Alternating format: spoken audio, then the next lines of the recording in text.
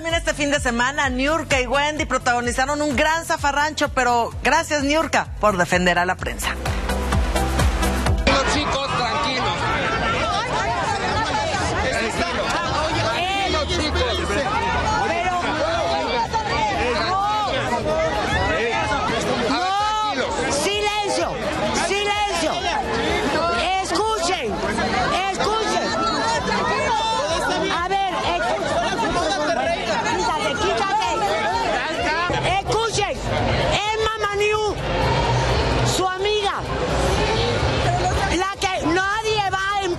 Ustedes son profesionales y nosotros también.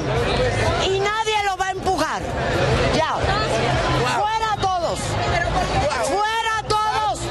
Los que no sean Wendy y Niurka. Ellos saben. Ellos hablan conmigo bien. Pero si los empujan, se emputan. ¿Qué, qué creen? La Wendy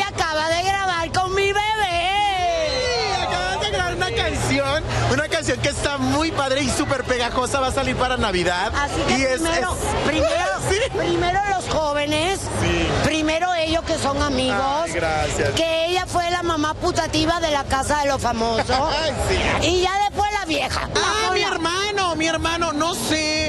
Mira, yo no sé, la verdad, ellos fueron, mi hermano fue el que quiso hacer todo eso, vendiendo como mi imagen y, y todas esas camisas y eso. Y yo no me meto ahí por si hay un problema a mí ni me embarran.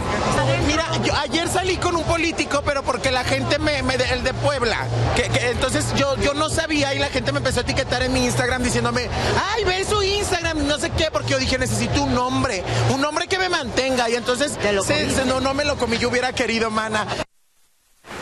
Bueno, ahí está, ¿para qué se meten más personas en estos zafarranchos si solamente son artistas con periodistas?